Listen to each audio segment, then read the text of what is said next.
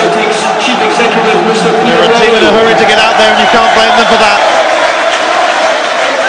Seven wins on the spin to end the season with to secure the title.